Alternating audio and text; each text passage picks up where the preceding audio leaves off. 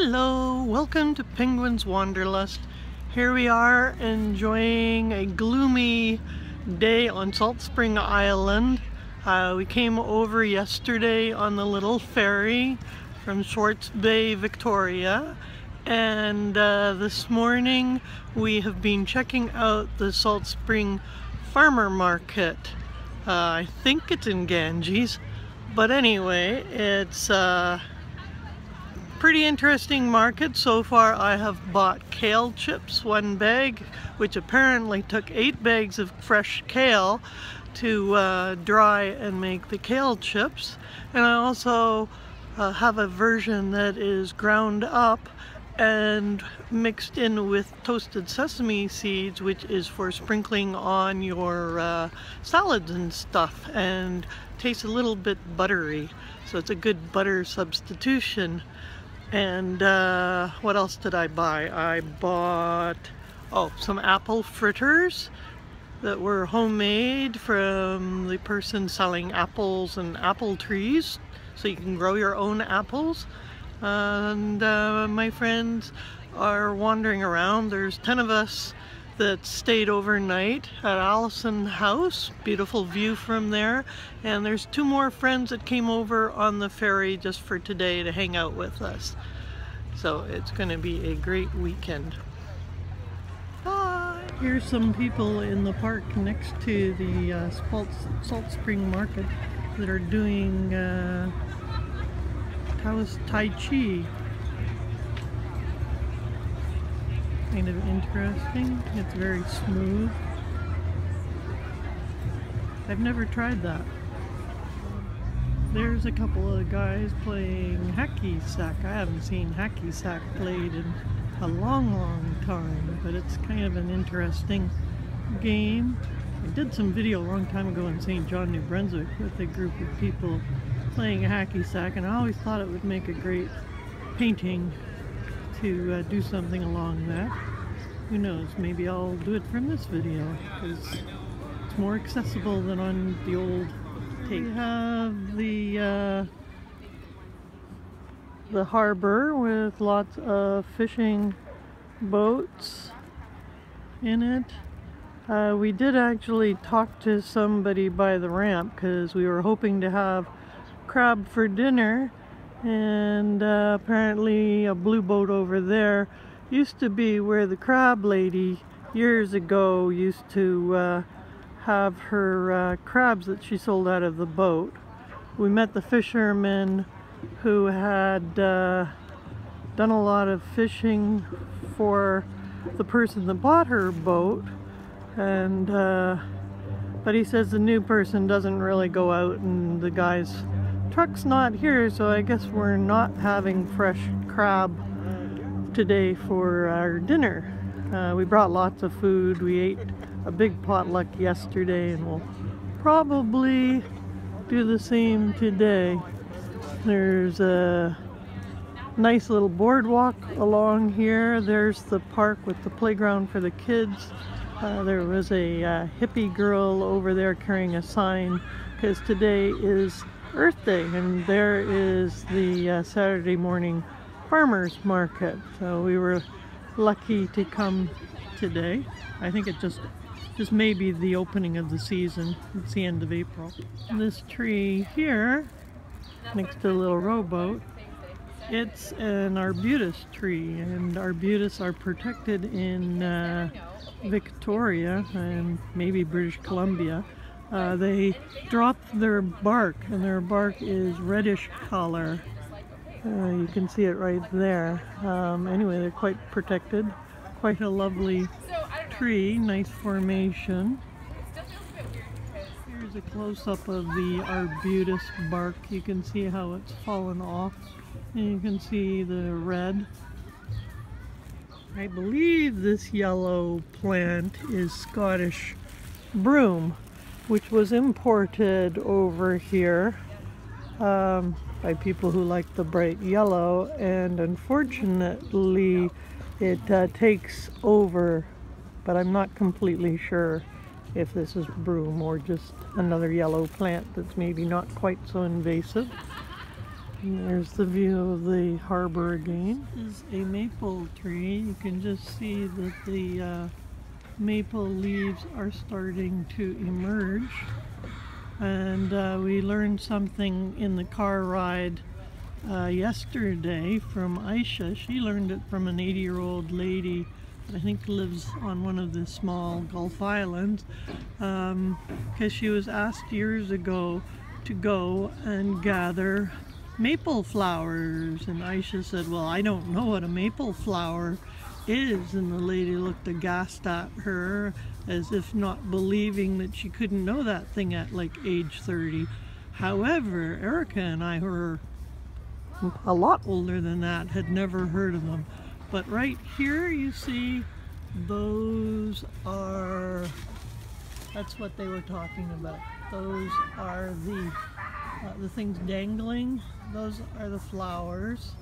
And what this 80 year old lady did with them uh, after they were gathered was she mixed them up with flour and uh, deep fried them and made them into um, fritters. So there you go maple flower fritters. I bet you didn't know about that. And now Aisha says every time she sees them in the spring, she gets hungry because they were delicious. But she doesn't really remember. She thinks she remembers they tasted kind of like maple syrup, but she says they may have actually been served with uh, maple syrup. So we're not sure until somebody tries them again. Cherry Blossom Festival.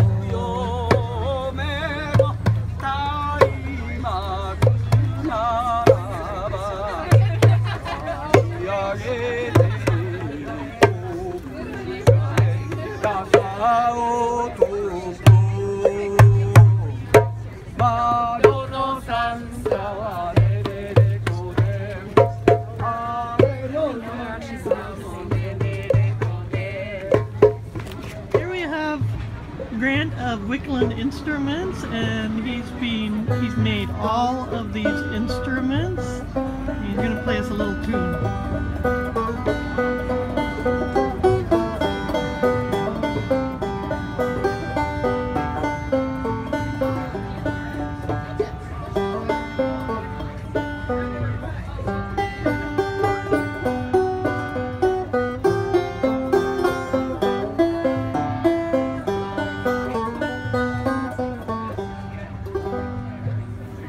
Thank you. Can you tell us about this instrument?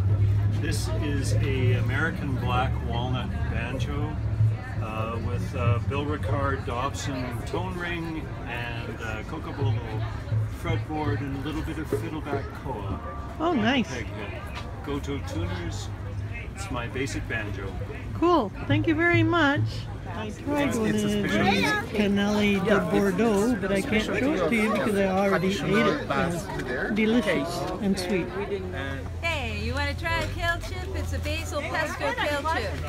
It's made with fresh basil, lemon and garlic, sunflower seeds, pumpkin seeds, spinach, olive oil, and sea salt. Dehydrated for 24 hours, and now it's preserved for two and a half months. And delicious. Delicious. Then I do grind up that kale chip and add it to toasted sesame, making it a nice little sprinkle for your your salad, soup, pasta, rice, veggies. Also very delicious. Yeah. And I've already bought those. and what's your name? I'm Claire. Claire. Thank you so much, Claire. High Vibe Foods. Thank you. We just left uh, Barb's uh, where we had, I had a steamed milk that was really good. Now we go over the little bridge and we're gonna go check out the Japanese cherry blossom uh, festival, which is over here through these nice little wooded path. You know, this is, there's a Japanese maple in the little area where they're going to have Japanese food and entertainment.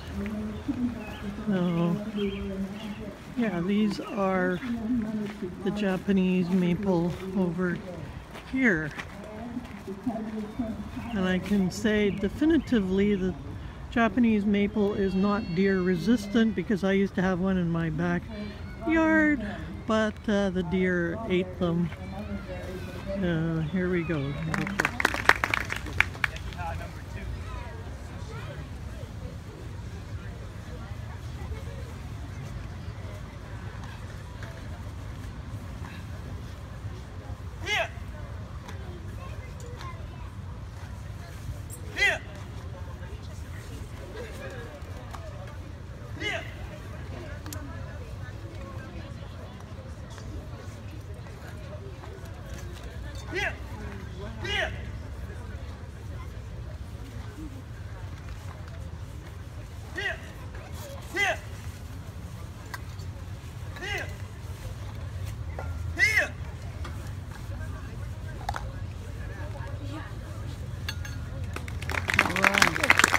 where we uh, um, met earlier at Barb's Buns, and it's a really busy restaurant. The lady Toastmasters, called Toastettes, have come out to Salt Spring Island Allison House to spend uh, three nights and like four days exploring Salt Spring Island and uh, we have like the most incredible view from our uh, kitchen that could possibly be. I would really recommend uh, Allison House. It's a steep hill to go uh, up and down, but it's by car, so it's okay. And we went two houses up and we got to try hot yoga today, so that was pretty grand. Here's a couple of running ducks, but they're not running. They're chatty. They're chatting. They're at the vineyard. Yeah, Oh, yeah. Another picture?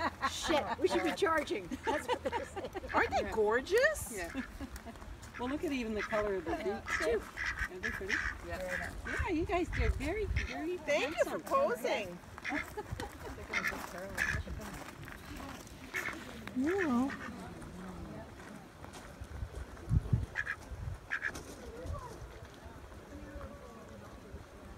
Yeah, Wildlife of Salt Spring Island at the vineyard.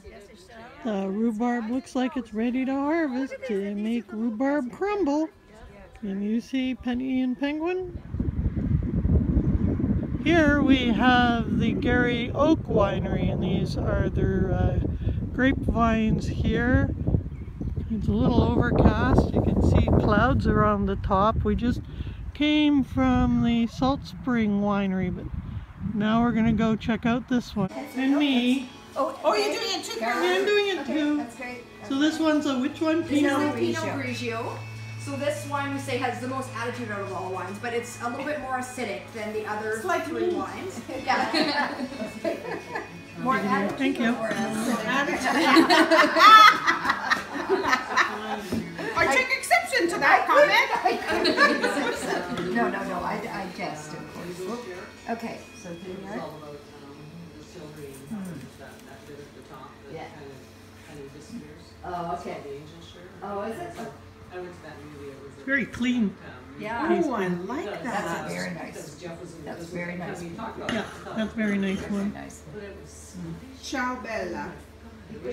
Yeah, lots of people pick up on hints of green apple in there. Yes. So it's very fresh. It's gonna be the crispest, freshest one that we're gonna try. That's the first one. Yeah, the Pinot Grigio. See, long, laborious afternoons. Do we have this? Here are some of the barrels full of wine. We have different types. Yeah, it's on our. Yeah, so Here we have a little Salt Spring cow. It's so cute. Hello. Okay. Hey there. Are you gonna say hi? Me? Are you gonna say hi? How's it like to live on Salt Spring Island? Can you tell? Tell us? Hey? Do you like living here, little cow? Hey? Can I pet you without losing my hand? Hey? Oh yeah. You're all wet. Yeah, you're all wet. You're so cute.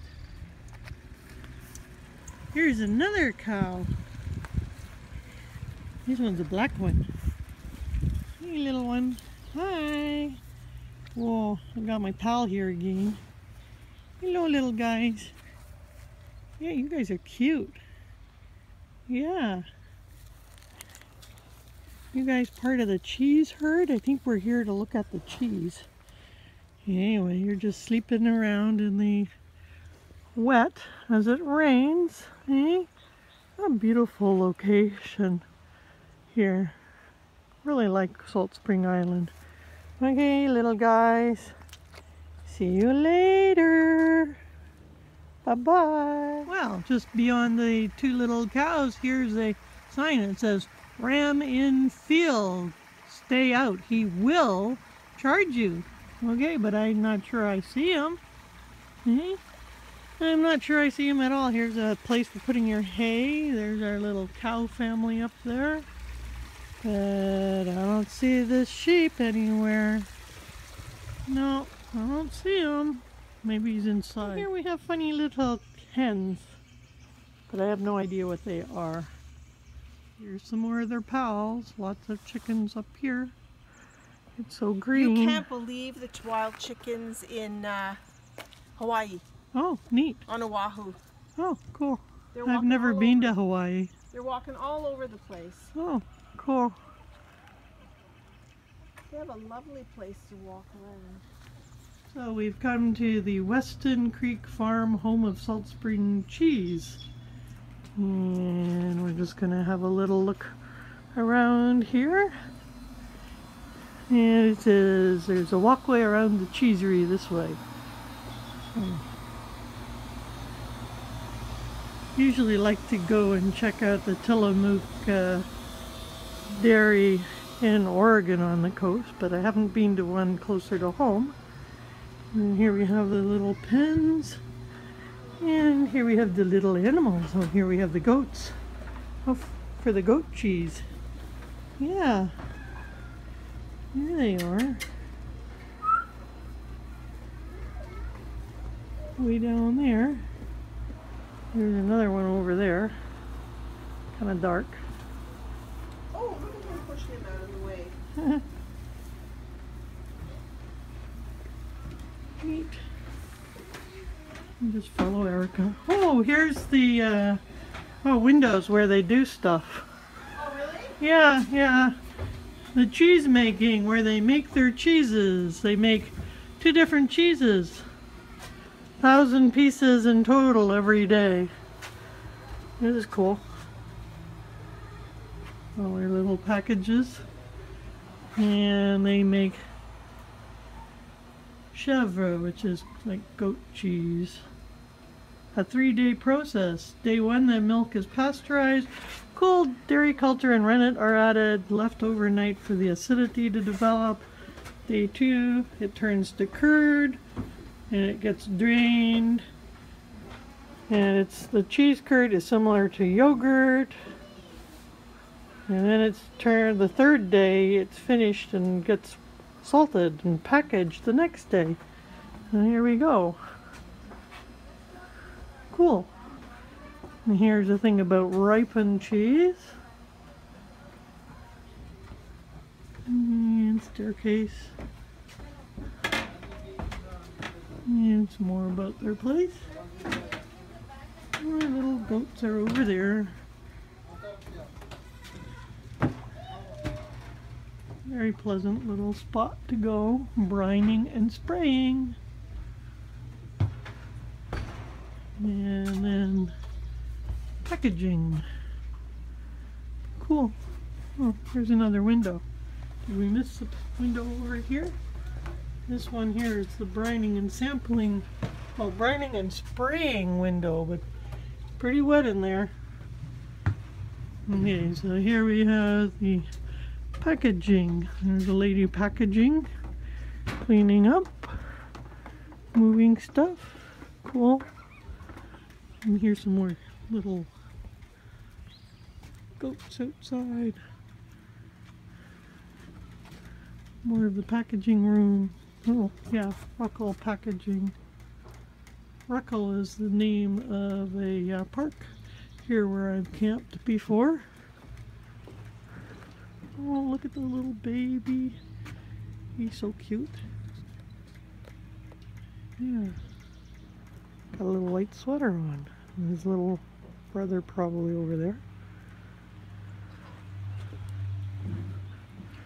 There's ripening happens over here. And collaring ripened cheeses. I never knew about collaring. Yep. Oh. Go in and take a look. Well, the guys thought this was a frog, but it's not a frog. Not a frog. Not a frog statue.